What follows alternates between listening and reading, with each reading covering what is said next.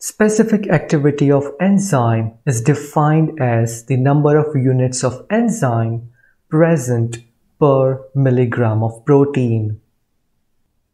So let's say this is the enzyme that we are interested in studying. And this represents all the other proteins present in the given sample.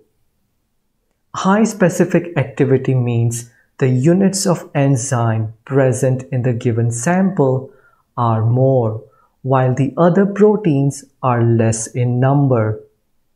Low specific activity means the units of enzyme present in the given sample is very less, whereas the other proteins are present in large number.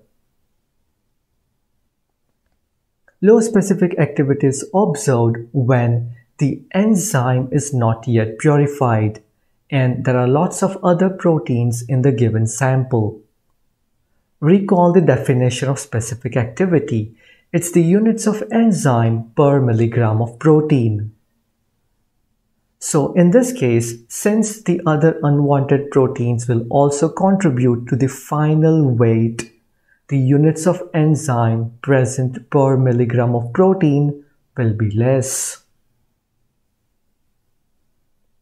Now let's say you purify this enzyme by column chromatography.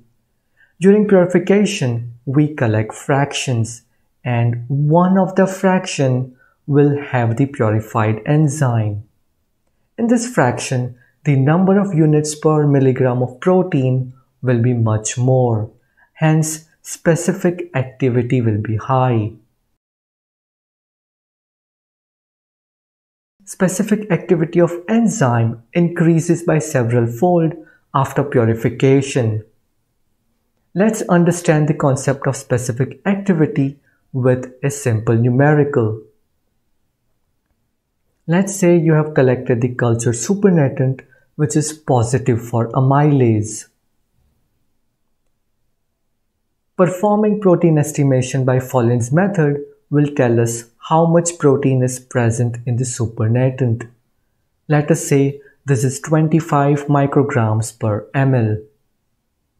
Since the same supernatant also has the enzyme amylase, we can use this supernatant for amylase assay. Let's say 1 ml of supernatant was mixed with starch and incubated at 37 degrees Celsius for 30 minutes. After incubation, the reducing sugar was estimated by DNSA method. Let's say the reducing sugar estimated was 10 micromoles. So first, let's calculate the units of enzyme. One unit is 1 micromole of product formed in 1 minute.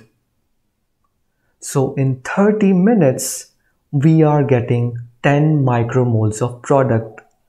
So 1 minute will have how much? This will be equal to 10 divided by 30 which is 0.33 units of enzyme.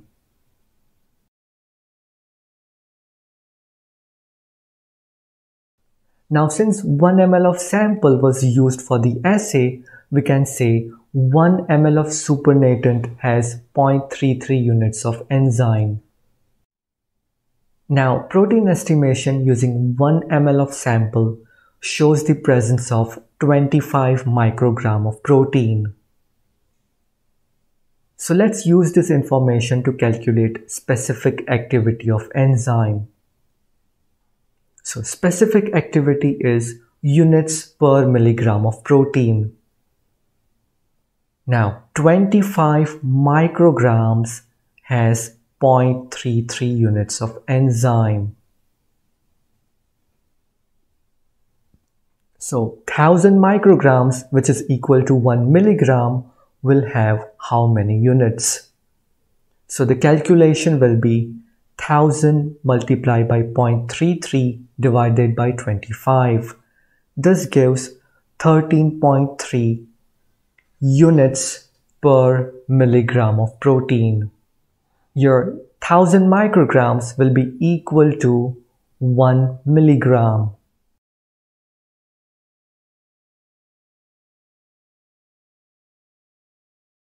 So this is how we calculate specific activity of enzyme. If the enzyme sample is crude, then the specific activity will be very less. If the enzyme is purified, then the specific activity will be increased by several fold.